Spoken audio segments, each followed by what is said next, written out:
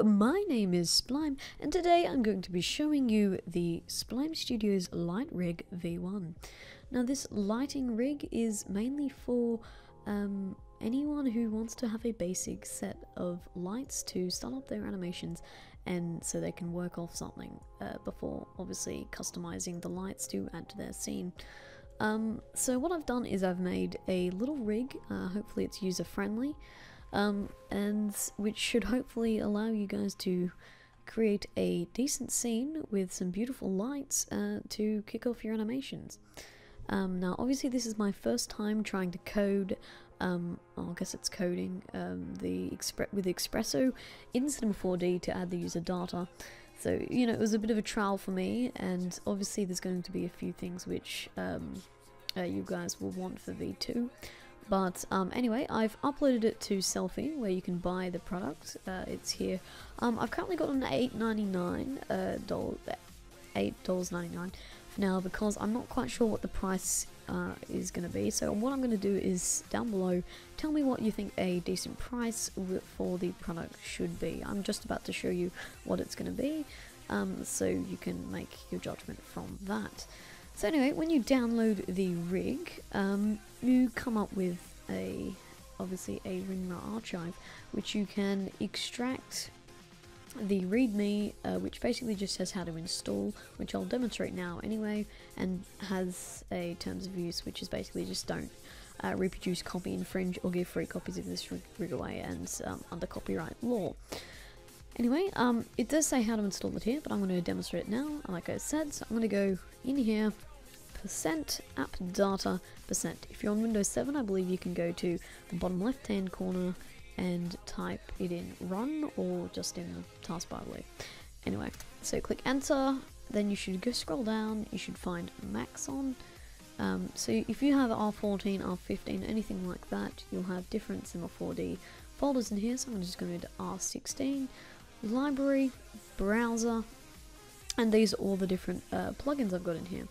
So I've got the rig, I've got Creeper.MCs, MCs, FMR5, uh, a few other things in here like the Minecraft mod packs by Weedlion. Um, and there's mine here. So you basically just what you want to do is you want to extract both of these files first to your desktop or wherever you can find it, and then just simply drag it into here. You can actually go straight from the folder into here though, and it automatically extracts. So you can do that, and there. So once you go uh, and put it in there, open up Cinema 4D. Make sure it's closed before you do that though, and go into Content Browser and you should find in your content browser that you've got all the other plugins and then there should be a new folder called Splime Studios Light Lights 2015 or something like that. Um, go inside it and you've got a couple of things over here. So what I've done is I've got a two uh, default things for render settings. I've got 1080p, 720p render settings. They're basically the same, although I've on the 720p render settings, I've toned down the ambient occlusion a little bit to increase render times. So that's all I've done, um, and yeah. So what I'm going to do is to actually use this rig, put in the lights. Um, usually when you're going to be using this, you're obviously going to have a weld in which you're going to be animating on. So um, just put that in after. So I've just got a few demonstrate example worlds here, which actually is included in the rig. So I'm just going to drag in one of the worlds. Okay, so this is just a world straight from my random seed on a Minecraft world I made. And there we are, so you're probably looking at this thing and thinking a few things. Okay, there's clouds, there's water, there's weird lights, um, and random splines. Okay, so let me just explain to you these different things. So, just double click on the which render settings you're going to use. I'm just going to click on the 720p and then you can click on the objects tab here. So um, what you're going to do is I've made user data to make this rig easier to use. Um, unlike other rigs where you just have to move the lights where you want, I've made it so you can just click on the SS Lights controller V1 and you can see down here you've got an assortment of different controls. So when you open it, it should look something like this. There we are. So you've got lighting and scene extras. So with the lighting, you can add a sky. Now let me just zoom out. if I turn off the sky, you probably don't notice it because I've got the environment uh, factor quite high and a bit of fog. Um, but really, it adds a really nice uh, sky look. Um, so you can check that, uncheck that. With the sunlight, you can turn that off, turn it on. Most of the time, you really want to have the sunlight though. And you can increase, decrease the brightness to however you like. Um, so also in uh, lighting, I've got additional lighting, which is mainly for central centralizing the light in the middle of the scene. So in case you have a few characters, movement around here, um, something happening, you want to have that just bit of extra light artificially put in there just to make sure that it, your shadows are minimal so you can see everything. Um, now, if you increase this, you can notice that the light is increasing around this area. If I show this to you in the background, say look at that area over there, if you increase and decrease this, there is not a lot of light difference going on over there. So that's just for basically centralizing the light in the um, scene.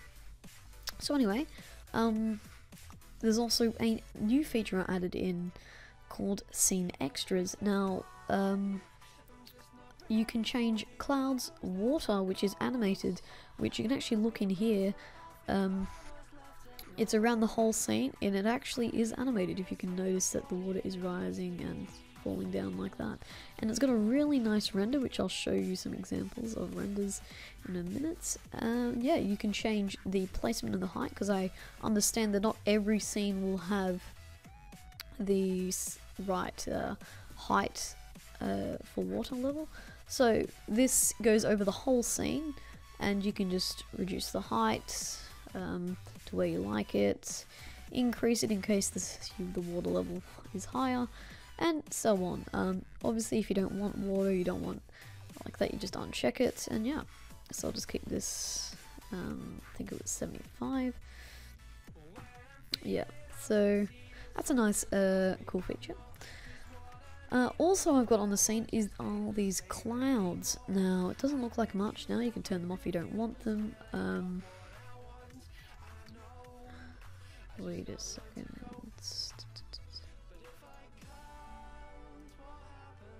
I think there might be a little problem. Yes, I think we have a problem with the rig already. Oh, okay, I figured out a glitch. So when I click the clouds on and off, um, only two of the clouds go away. So I'll fix that up in post anyway. Um, basically, just I want to get those clouds away when I click this. Just a bit of an Xpresso error. Um, so yeah, ignore that. I'll fix that up ASAP. Anyway, what you can do is you can actually change the height of the clouds. So you can put it where you want in the scene um, however you like. Okay.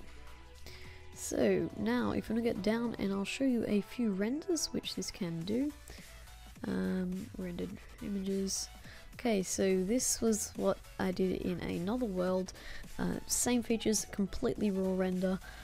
Um, that's also in the pack, so you can have a look at this. Uh, I've got a nice light, uh, sun flare. There's the water. Doesn't look too good in that image actually, it's a bit too blue for my liking, but you can change that up with different lights. Um, here we go, that's a better view of it, you can actually see a bit more of the darker blue around here, because that blue to me is a bit too blue. I know, I'm just being a bit specific. Anyway, there we've got the clouds in the background just you can see, got a nice sky, and then we've got the sun. So that's actually on this world right here, so that's just a, I think it's this perspective right here actually. So, um, yeah, that's, that's a nice look. Um, and then we've got another one, uh, which is the same world as before, uh, which has got a nice water there, and then you've got the lighting and the sh area shadows. So yeah, it's quite nice. And we've also got a character, uh, it's a good old cow in there, and a bit of depth of field. So yeah, that was all done with raw these raw lights. Obviously, when you're making your own world, like I've said, you would add more lights just to change up the scene a bit. So yeah, th this rig is basically just to make to get a start on your um on your world lighting because I know a lot of people struggle with um lighting in general and render settings. So yeah, I've already got the render settings put in there when I double clicked on 720p render settings and you've got you know all these different things which you don't need to mess around with they're already good. Um yeah what else? Uh that is pretty much it. Um I've got another world which I can demonstrate the rig in so I'm just going to delete this world and there we are. So the first thing you probably notice is uh, the water level is basically flooding the city and you obviously don't want that so you're going to basically put the water level down to the correct height. So I'm going to go down to water. I'm going to reduce that and try and get that so it's, there we are, just something like maybe a bit less, 5%. So let's have a look at this. Um,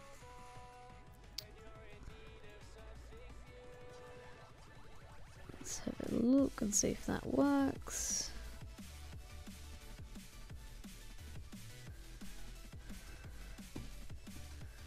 Just trying to make sure that's the right height.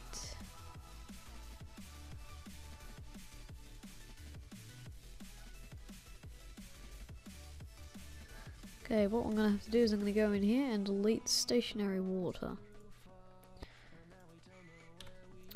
Sorry, I forgot to do that. Um, so what you want to do is you're going to go into the world, yeah, and delete the stationary water. That will give you an idea of where you want the water level to be. Sorry about that, and back into the world. Uh, the animated water, that's about the height you want it to. So you want it to be not right on the top, but not right at the bottom or middle, so I kind of like set 8% there. And then obviously that's animated, moves up and down. Yeah, sorry, wondered, what was going on there. So there, you've put the water in that world, and you can continue animating as you like. Uh, I don't know if you want to have a brighter scene, maybe midday, you want something like 60%, or if you want to have a darker kind of evening day, then do something like, yep, okay, so, um, that's basically that. Um, like I said, uh, it is, the rig is available in Sellfy, um, and what I want you to do, like I said earlier, um, is please tell me what you think a reasonable price for this thing is. Now, I don't want it to be too cheap because I, uh, it did take a fair bit of time for me to actually make this, and also I don't want every single person to just have this, um, so they can just ask for money for intros and using my um, rig and don't change anything because really that's just not what I was aiming for. What I was aiming for was to help people get a start on lighting and animation so they can develop it and um, work on it um, with this as a basically a foothold or premise. So anyway, um, thanks for watching. Uh, you can have a sneak peek um, with some of the lightings I've done. I used it for the Unicorn Farts intro um, primarily. It's actually exactly the same world. Um, and yeah, um, uh, it'd be great if you could um, give me a critique. What do you think? Anything should be improved? Is it too expensive? Um, obviously, that cloud glitch I'm going to fix up. And yeah, I'll see you later. Thanks, guys. My brain, my soul, my dreams, my life. What should I do?